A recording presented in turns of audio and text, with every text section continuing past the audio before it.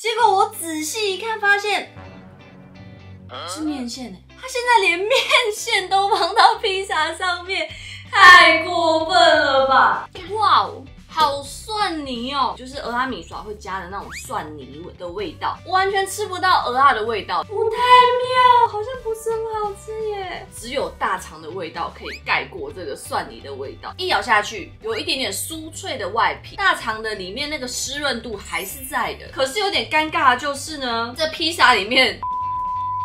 大家好，我是妮雅，又来到我们的美食新品开箱系列啦。今天要开箱的新品呢，其实本来很早就很想拍了，但是呢，因为卡到了前几天去拍摄的那个大王巨足虫拉面，真的是有点可怕，所以稍微有耽误到了。那我们今天要开箱什么呢？没错，就是必胜客在前几天所推出的期间限定商品——香菜大肠阿米耍披萨。我觉得台湾的小吃都快。要被必胜客给用完了，从霸丸到这个俄阿米耍到咸酥鸡，不知道到底必胜客还有什么是不能加的呢？那其实呢，我对于这次的新品呢，觉得它应该会是一个还不错吃的披萨，因为大家都知道，其实我最近有拍一系列的这个奇怪美食嘛，那其中呢有一集就是披萨，在那集里面呢，我就也有吃到一个大肠面线披萨，那个时候吃起来呢，我自己。是觉得很好吃的，不过呢，我觉得那一间披萨算是蛮保守的，就是它只有把大肠跟香菜加到披萨里面而已，然后是用薄皮的，所以我觉得它并不算是非常非常道地的俄阿米耍披萨。那我们就来看看必胜客这个披萨到底有没有很道地，真的。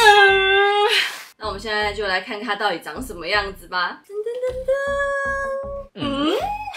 开始我还想说，哎，这个披萨是不是呃做的有点不太好？因为它旁边都有这样一丝一丝焦焦的东西，东西没有放好，温度没有调好，怎么这样子焦焦的？结果我仔细一看，发现是面线哎。必胜客之前把饭放到披萨上面，他现在连面线都放到披萨上面，太过分了吧？那我们看到它的表面呢，大概有十个鹅啊左右。那大肠的部分呢，应该就是这个比较黑，然后一块一块的东西，我稍微比较少一点点。那香菜的部分呢，还蛮多的，基本上应该每一口都可以吃到香菜的味道。好了，那我们就直接来吃吧。老实说，我觉得现在闻到这个披萨的香气啊。好像不太妙，很重的那种蒜香味，就是俄阿米耍会加的那种蒜泥的味道，然后它也闻不到大肠的香气，反而有一点鹅啊的那种味道会飘出来，这样子，嗯，好像不是很好吃，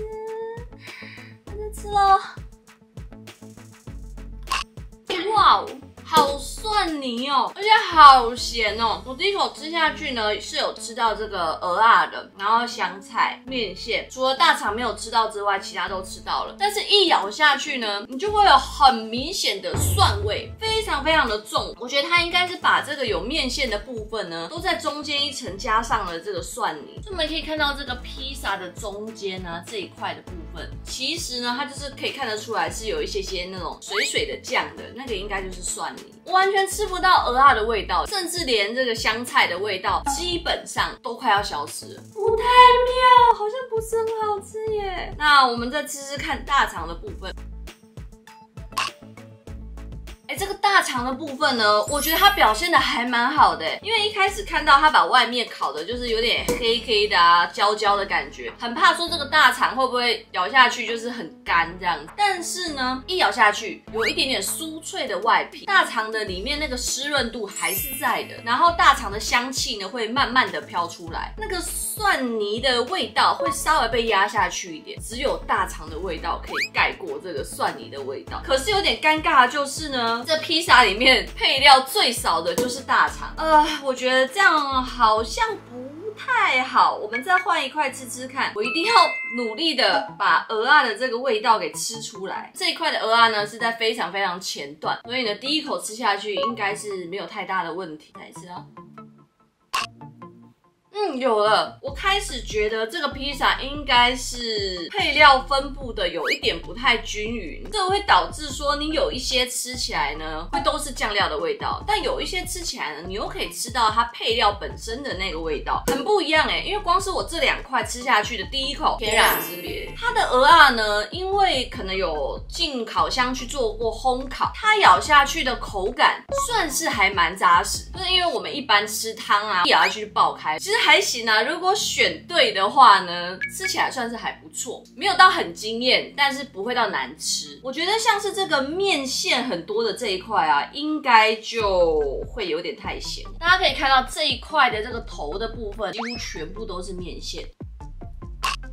没有错啦，因为它的面线估计就是已经跟这个蒜泥做过融合了，所以你只要看到有很多面线的地方呢，一咬下去，那个蒜的味道绝对是直接冲上来的，你好像在吃一坨蒜泥的感觉。如果你真的有机会要吃到这个披萨的话呢，尽量不要去挑那个面线很多的，而且它的蒜泥呢又有一点点辣，不太好。然后有大肠的就对了，各位记住了。好，那我们这次的必胜客新品开箱呢，就差不多到这里告一段落了。整体来说呢，我觉得。还蛮一般的，有一点点太丰富了，因为它又有大肠，又有香菜，又有面线，面线里面还加了蒜泥酱。我觉得这四样东西都是非常重口味的，有种谁都不让谁的感觉。所以你随便拿一块起来，你就是会吃到非常多个重口味的食材，口感上我觉得就没有那么好。大概你吃一块到两块，我自己就觉得不太行。它不算是一个非常惊艳的披萨啦，那就是如果有聚会的话。大家再点来吃就好了。那最后说一下这个价钱的部分，它现在呢单点这个大披萨是三九九，所以不算贵，但